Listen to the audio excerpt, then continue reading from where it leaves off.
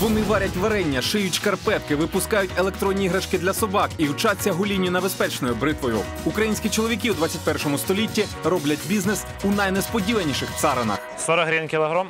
Ну, я думаю, мы договоримся чуть скидочку сделать, нет? Если я возьму килограмм 20, договоримся? По 35 договоримся? З цієї полуниці Євген з товаришем зварить варення під брендом Конфітюр. А у вас, э, кстати, по поводу нитратов, сколько вот, 60, да? Можно попробовать? Спасибо.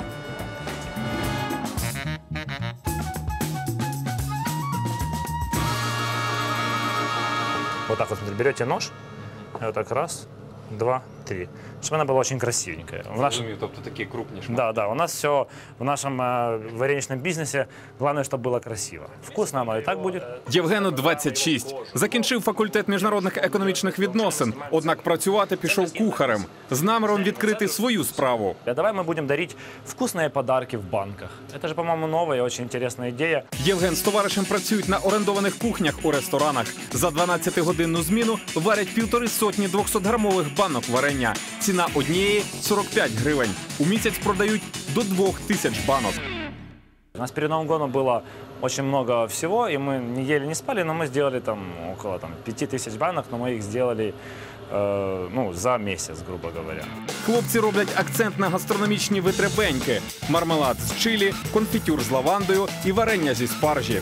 70% доходу витрачають на сировину. Дизайн розробляють самі, доставляють замовлення теж. Продажі лише через інтернет.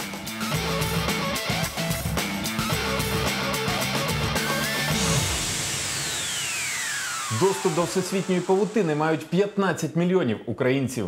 Аби про ваш малий бізнес знали, ви маєте бути в інтернеті.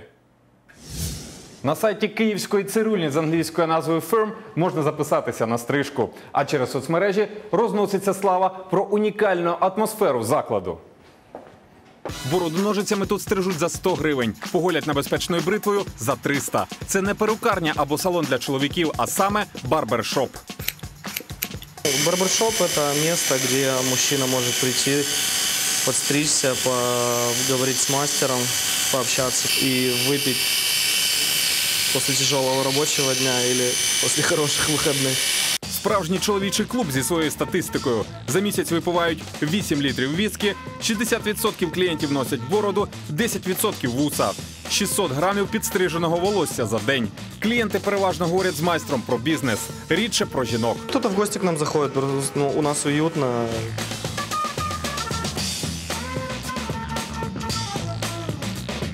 Ну і стильні покупки на додачу. Цей чоловік на велосипеді щойно привіз дві футболки, які сам пошив. Купили миттєво. Васильева и Свиридова, они тоже делают. У нас у них есть платки даже свои, у них такие классные коробочки, кстати, наборы.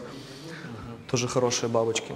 А от шкарпетки оці. А, вот ці, вот ці шкарпетки, кстати, ребята из Львова делают, Сэмми Эйкон. Очень качественные.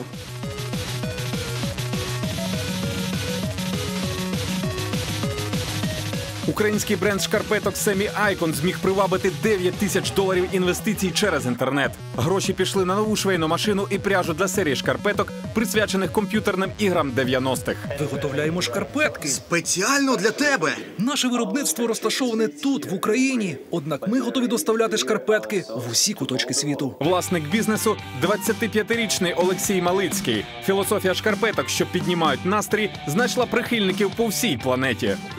Ми почали виготовляти шкарпетки рік тому. Дизайн розроблений у Європі. Шиємо на італійських машинах з індійської сировини. Ще один зразок українського малого бізнесу, який підкорив світ, це робот PetCube. За допомогою веб-камери, лазерної указки та смартфона можна розважати свого домашнього улюбленця, навіть коли господар в іншій півкулі. Камера передает изображение, все, что происходит у вас там в квартире или где ваше животное находится, и с помощью лазера вы можете взаимодействовать с животным, кошкой, собакой. Про авторів PetCube написали найавторитетніші західні видання у сфері IT.